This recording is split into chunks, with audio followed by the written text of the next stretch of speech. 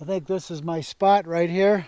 I think this right here will be my sleeping quarters. It is good practice uh, in bear country, which this is definitely bear country up here.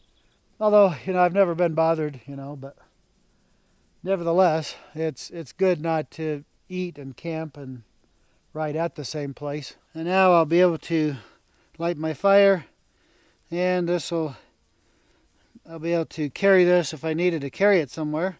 Like if I needed to get out of the wind and light a fire and then bring it over to the fire, I could take a bundle like this, go back out of the way out into a sheltered spot, light it up, and then carry it back to where my campfire is. Uh, so here's my little bundle right here I'm going to use. Now when you're burning needles like that, a lot of times you gotta, one of the tricks is you gotta keep it compressed down enough so that once it starts, then they can feed off each other and get the whole thing going good. So I'm, I've got a, just kind of a green branch off of a piece of brush here. And what I'm going to do is, every time I handle this thing, I'm losing more of it. So I've put that around it. And I kind of cinch it down. All right, so I just kind of uh, twist this on around a little bit. And I can just uh, tuck it in down here. That keeps all this in a nice tight bundle. Starting fire. a Bic lighter. What we're wanting to do is let that flame aim up into the other layers here. So it gets up into there and it starts heating, preheating the stuff above it and gets that stuff so it wants to start burning. Stuff is actually fairly even though it looks dead, it's actually fairly green. You can kind of see by how it's smoking and reacting here.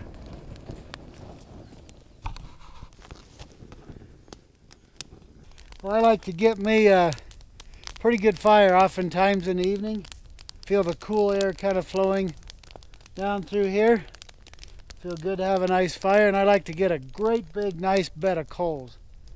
So this fire will last a long time. I'll have plenty to cook with I want to cook over the fire. Well, you know, one of the things I really like about the Klean Kanteen and these uh, cups like this Glacier cup, this is the big one, the big kahuna here. I think it's like about a liter cup or something. We carry it on our website. The Klean Kanteens, we carry the carry these on our website too. And this is the 48 ounce. And uh, really nice. It's very tough gear that you can use in the fire. One of the other nice things is the 48 ounce Klean Kanteen will nest right inside this uh, the big glacier the big uh, GSI glacier cup or the uh, or the regular GSI glacier or the Olicamp cups all of them will fit uh, will nest the uh, Klean Kanteen I really like them they're very tough and durable I mean, I use them all the time, and uh, believe me, they get beat around when they're with me. I'm not that kind with my gear a lot of times, but this stuff holds up really nicely. So I, I usually always have uh, some of these in my truck with me, and I'll throw them in my pack or something if I go off somewhere. It's just nice to have some really durable, reusable equipment that's going to last you a long, long time. You can look right down into that Klean Kanteen there and you can see it's boiling nicely. And I'm not even in the flames. I'm just right at the edge of the coals right there. Another nice thing is uh, I love these little uh, Olicamp pot lifters. These things work so nice with so many things. I use them on all kinds of pots and pans and and uh, you know I can I can pick up this cup if I need to if that handle got too hot I could always use the pot lifters to pick it up it also works really nicely uh, for picking up the, the Klean Kanteen here. Well, we've got us a nice little boil going on here in our uh, little GSI cup. And You know, one of the nice things,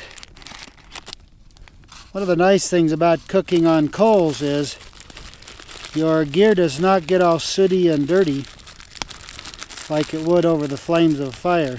Coals are very nice, being clean, steady heat. I should be good to go now. I just, I need a little bit of liquid. That's kind of why I did this. Ramen will be kind of some soup. Put a little hydration in me.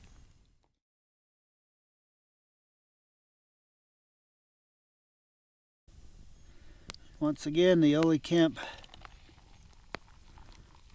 pot grabbers make easy work of it.